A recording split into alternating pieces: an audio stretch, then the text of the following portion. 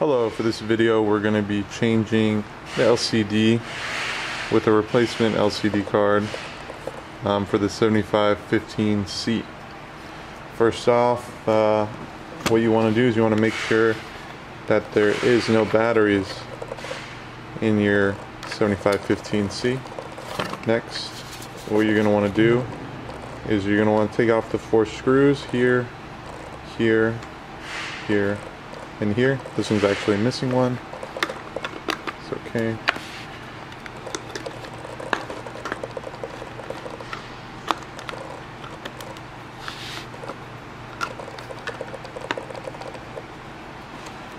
Perfect. After you open it up, you'll see that the card is right here, secured by four screws. One right there, one right there, one right there, and one right there. What I do recommend is that you take a picture so you know exactly which port goes where. Um, sometimes it can get confusing. So what you want to do first is you want to go ahead and take off all the ports. You just snap right out. Okay, once you got that done, you're going to take out the board.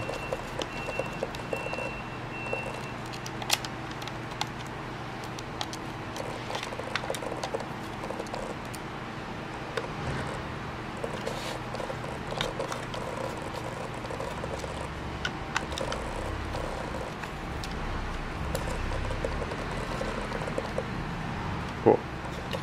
Once you got the board out, you can just put that on the side. You're gonna take your new board. You're gonna go ahead and place it inside. And what I'd recommend doing is just securing it with two screws first so it doesn't move around.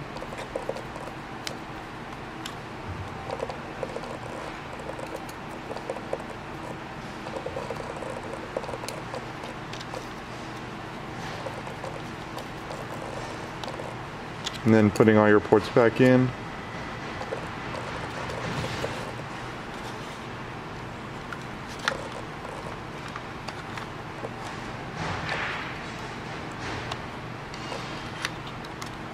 Okay, after you got all that in, what I would do is I would recommend testing it before you put it all in. Just gonna put your power cable in, flip it over. Should be good to go. Once you've confirmed that it's working and that your LCD is fixed, you're just gonna turn it back off and finish screwing in the rest of your screws and then closing it back up and you're good to go. Thank you for watching.